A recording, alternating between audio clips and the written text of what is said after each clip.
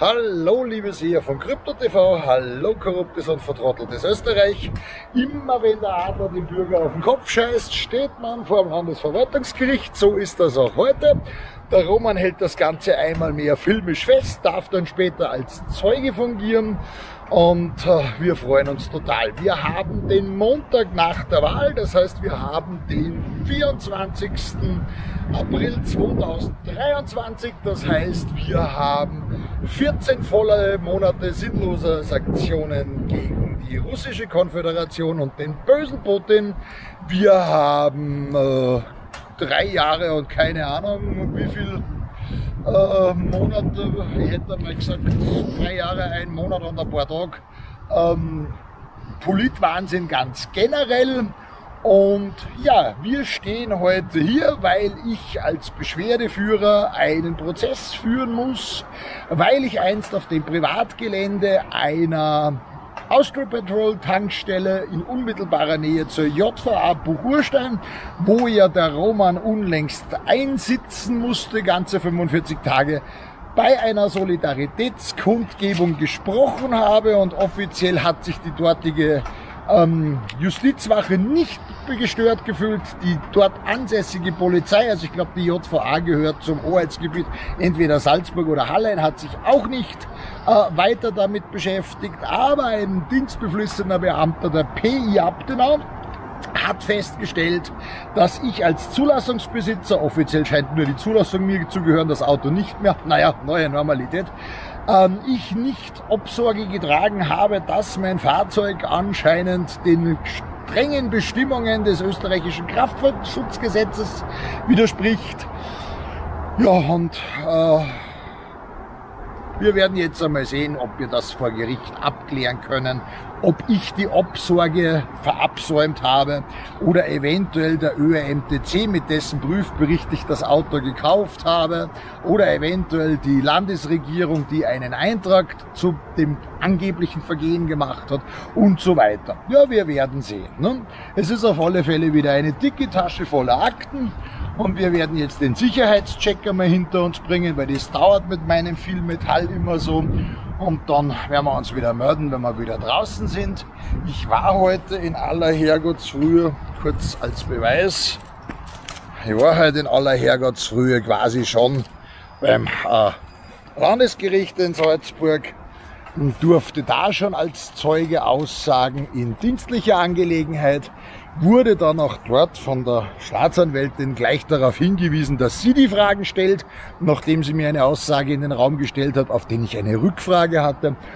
Ja, also wie gesagt, toller Wochenstart, zwei Gerichtstermine an einem Tag. Zum Regnen fängt's auch wieder an. Ihr wisst eh, die äh, Dürre in Österreich. Luisa Neubauer hat's besprochen. Wir machen da jetzt einfach einmal den Aufgang ins. Weil es so toll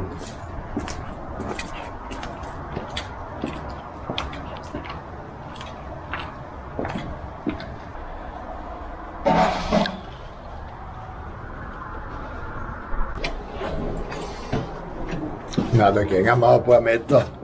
So, der Roman ist als Krawalljournalist und äh, von mir mitgebrachter, gestellter Zeuge, den man gar nicht anhören wollte. Ja, ist halt so schon wieder fleißig und hat die Corona-Regeln festgehalten. Fakt ist, wir haben einen Lokalaugenschein gemacht, weil ich hier mit dem Auto und dem Roman hier bin.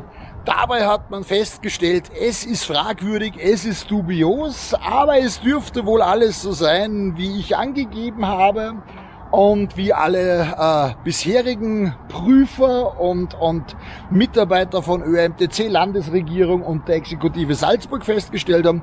Der gute Mann von der Trachtentruppe aus Abtenau scheint ganz besonders genau und besonders streng zu sein.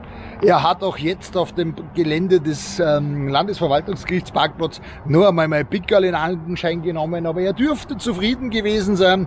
Ich bin da schon gespannt, was demnächst alles als erneute Post bei mir eingeht. Ähm, sei es wie es sei, das schriftliche Urteil wird im Laufe des Mai noch überstellt, aber der Richter hat mir zugesichert, dass es entsprechend der Anklageschrift wohl so ist, dass meiner Beschwerde stattgegeben wird. Also ich werte das sozusagen als einen mehr oder weniger falschen Freispruch. Und ähm, ich danke meinem zweiten Zeugen, der auch zum Gutaussehen heute hier war. Der wurde nämlich auch nicht einvernommen, weil es nach dem Lokalaugenschein eigentlich gar nicht mehr notwendig war. Und ich werde mir jetzt meinen Frust von der Seele trinken mit Flüssigsprengstoff, den man beim Security Checkpoint nicht durchgelassen hat. Also Flüssigsprengstoff. Ja, und damit sind wir eigentlich an diesem unglaublich spektakulären Montag für heute fertig. Ich knuddel jetzt meinen Zeugen. Es tut mir total leid, dass ich dich herzigiere, damit man dann sagt, nein, Zeugen brauche ich doch keinen. Hauptsache spannend bleibt. Fand, fand ich spannend. Ja. Ähm, der Kollege von der Trachtentruppe in Abtenau ähm, hat äh, allerdings auch bemerkt, es haben ja da anscheinend mehrere Fahrzeuge gepackt, die Kapickel gehabt haben und so weiter. Also ich gehe mal davon aus, wir, wir werden dann demnächst hier weitere Verhandlungen führen. Naja, es bleibt also heiter lustig äh, im Land, wo einem der Bundesadler in Pink auf den Kopf scheißt. Und damit genug der Rede, weil sonst wird das Video wieder zu lang. Jetzt können wir uns voller Inbrunst auf die, den Friedensmarsch, die Friedenswanderung von Max konzentrieren. Und eventuell habe ich dann bis dahin sogar ganz legale Auto, mit dem ich ihn wieder abholen darf. Uhuhu. Ja, was das mit Max Friedenswanderung anhat, das schaut sich einfach an. Damit herzlichen Dank den treuen Sehern von CryptoTV. Äh, danke den Zeugen, danke dem Roman, danke den Gerichtskiebitzen, die da so euphorisch rumstehen und jetzt die nervliche Zigarette brauchen. Und ähm, ja, ein gute Fahrt, korruptes und vertrotteltes Österreich. Haben wir wieder einen Sieg erreicht, so soll es sein. Baba, für euch. Ja, das glaube ich dann erst, wenn ich schriftlich habe. Oh.